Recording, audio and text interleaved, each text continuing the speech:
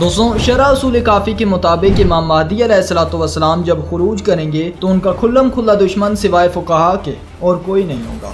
Well you might be thinking कि इतने मुतकी नज़र आने वाले ये मुजतदीन आखिर कैसे इमाम के मुखालिफ हो सकते हैं? सो दोस्तों, इसकी खोज में जब आप निकलोगे तो ये खोज आपको सेवन सेंचुरी में ले जाएगी। Twenty August six thirty six battle of Qadisiyyah से तीन माह पहले अरेबियन मुस्लिम्स ने बाजंतीनी फौज को पूरी तरह से तबाह कर दिया था। उसके फ़ौरन बाद अरेबियन मुस्लिम्स के कमांडर उमर बिन खताब ने सात बिन अबी बकास को एक बड़ी फौज के साथ इराक रवाना किया, जो इलाका सैसैनियन एम्पायर के अंदर था। वेल कुछ ही अरसे के बाद अरेबियन मुस्लिम्स और सैसैनियन एम्पायर के दरमियान जंग छिड़ गई। जंग मुसलसल चार दिन तक जारी रही, जिसमें तीस हज़ार से ज़्यादा लोग मारे गए। यूँ फारस का वो इलाका मुसलमानों के कब्ज़े में आ गया। मुसलमानों की मुसलसल आगे बढ़ती हुई फ़ौज की ताकत को देखते हुए असफहान, शराज और कुछ दूसरे इलाकों ने मुजामत करने के बजाय हथियार डाल दिए, जिससे फारस में मुस्लिम गवर्नमेंट और भी मज़बूत हो गए। 636 सी से 660 तक ईरान में खिलाफत राशदा का दौर रहा, उसके बाद 750 तक उम्वी दौर रहा।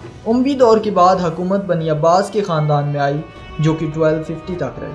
अब्बासी दौर में तकरीबन पूरा फारस आतिश परस्ती से इस्लाम में कन्वर्ट हो चुका था। वह दोस्तों 934 सी तक ईरान में मेजोरिटी सुन्नी मुस्लिम्स की थी। उसके बाद अली बिन बोया ने ईरान में हुकूमत संभाली जो कि खुद को अब्बासी किंग का नायब बताता था। But the good thing was कि वो शिया था। उसने ईरान में शिया आइडियोलॉजी को बहुत ज़्यादा सपोर्ट किया। उसके दौर में Sheikh Mufid Sayyid Murtaza Sheikh Tusi Sheikh Saduq Sayyid Razi और मुर्तज़ा अल अमाली जैसे उलमा को सपोर्ट किया गया। और यूँ ईरान में शिया इस्लाम फैलने लगा। Well, दोस्तों उसके बाद ईरान में मुख्तलिफ़ हुकूमतें रहीं। मसलन Seljuk dynasty Ilkhanid dynasty Safavid empire Qajar Pahlavi dynasty और 1979 में the Islamic Republic of Iran well दोस्तों the Islamic Republic of Iran उन्हीं फुकाहा का दौर है जो कि इन फ्यूचर अपने ही इमाम के मुखालिफ हो जाएँगे। ये मैं नहीं कह रहा, बल्कि 1979 से 2024 तक इनका 45 साल दौर हुकूमत, इस बात का गवाह है कि इन लोगों ने किस तरह हुकूमत की लालच में आकर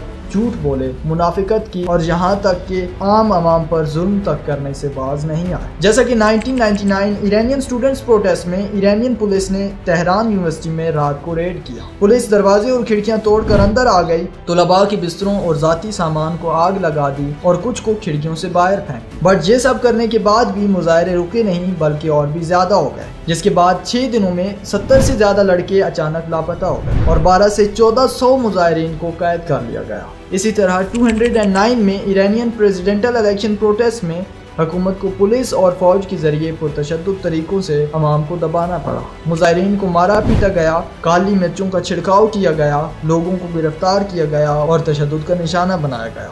वेल दोस्तों 2018 के मुजाहरे में भी 21 लोग मारे गए और सैंतीस सौ के करीब लोगों को कैदी बनाया गया। दोस्तों, इतने सारे लोगों के कत्ल करने और अवाम पर जुल्म करने का मकसद सिर्फ़ एक ही था और वो मकसद था प्रोटेक्टिंग देयर ओनरशिप वेल जब जब इन लोगों को लगा कि इनकी गवर्नेंस को खतरा है, तब हर बार इन लोगों ने अपनी हुकूमत को बचाने के लिए हर मुमकिन कोशिश की और जितना ज़रूरी समझा, उतना जुल्म किया। इसी वजह से जब इमाम खरूज करेंगे तो वो खरूज डेफिनेटली इनकी हुकूमत के लिए खतरा होगा। और इमाम की मौजूदगी में कोई भी इनकी गवर्नेंस को कबूल नहीं करेगा। एंड यू नाउ दैट कि वो कभी भी ऐसा नहीं चाहेंगे। इसीलिए इमाम मोहम्मद बाकर वसलाम फरमाते हैं कि जब इमाम वसलाम कोफा पहुँचेंगे तो सोलह हज़ार इतिहाद पसंद शिया मुजतदीन इमाम की मुखालफत करेंगे। उनके हाथों में असलिया होगा कुरान की कारी और दीन के फुकाहा होंगे। उनके माथे पर सजदे के निशान होंगे। वो सभी कहेंगे कि ए फातमा के बेटे तू लौट जा। हमें तुम्हारी कोई ज़रूरत नहीं। वह फिर उनके साथ क्या होगा ये तो आप जानते ही हो राइट